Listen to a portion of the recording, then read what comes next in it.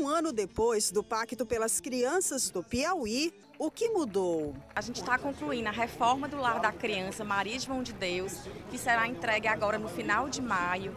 Toda a mobília também já foi contratada. A nossa carretinha da saúde, que já levou diversos atendimentos para as crianças de 0 a 6 anos nas áreas de oftalmologia, odontologia e audiometria. E temos também aí o PEPAI, que é a ampliação do Programa Piauiense de Alfabetização na Idade Certa, capacitando os professores e gestores escolares para atenderem as crianças de 0 a 3 anos nas creches. Coordenado pela médica e primeira-dama do Estado, Isabel Fonteles, o programa Pacto pelas Crianças elaborou o Plano Estadual da Primeira Infância, com a definição de metas para os próximos 10 anos, apoio integral às crianças piauienses. Nós queremos, inclusive, até o final do ano, entregar 41 kits creche para os municípios como incentivo para a construção de novas creches. Para cuidar das crianças, é preciso, num primeiro momento, cuidar das mães. Grávidas dos 12 territórios de desenvolvimento receberam uma atenção especial do governo do estado em um ano, com direito a um pré-natal completo. Logo depois do nascimento, o atendimento a essa criança também continua, com a garantia de que vão tomar todas as vacinas do Cartão Nacional de Imunização.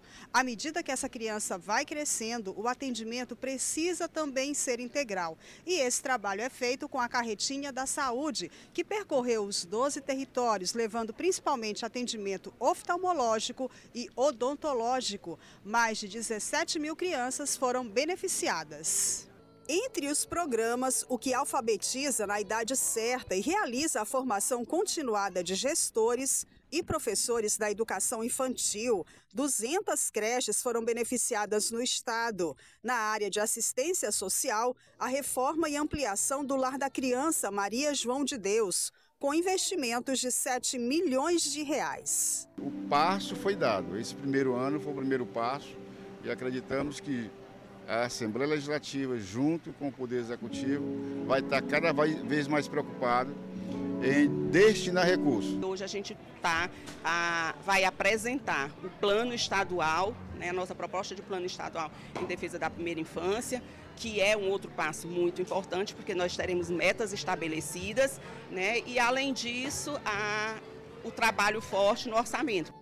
Na solenidade que marcou um ano do programa, compromisso reafirmado: desenvolver políticas públicas eficazes para a primeira infância. O governador Rafael Fonteles participou do evento. Queremos colocar isso como pauta primordial, independente do partido político, dos candidatos. É importante que os candidatos a prefeito e prefeita eh, priorizem a primeira infância nos seus programas de governo e, sem dúvida, a gente vai aprofundar a relação do Estado com os municípios em todas essas áreas que eu citei anteriormente.